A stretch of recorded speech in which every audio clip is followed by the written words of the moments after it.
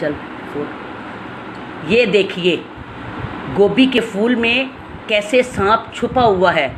और आज के बाद आप लोग भी ध्यान से फूल गोभी खाइए।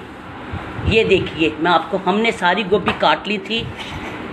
जब हमें ये नज़र आया, सांप, छोटा सा सांप का बच्चा है। प्लीज़, आपसे हम शेयर कर रहे हैं। ये देखिए ये देखिए, मैं कैसे उसको दिखा रही हूँ आपको। ये देखो ये देखो। ये अंदर चला गया है सांप।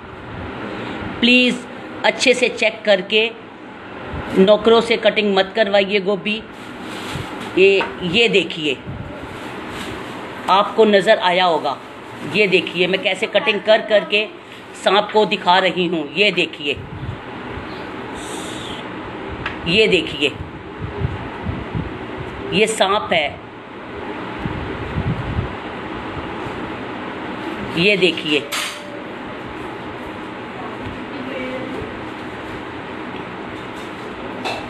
ये अब देखिए आपको क्लियर नज़र आ रहा है। प्लीज़ आगे से जब भी फूल गोभी लो तो ध्यान से कटिंग करने के बाद पकाएँ। ऐसे बिल्कुल भी नहीं पकाएँ। नहीं और जहाँ तक हो सके सीजनल ही खाएँ।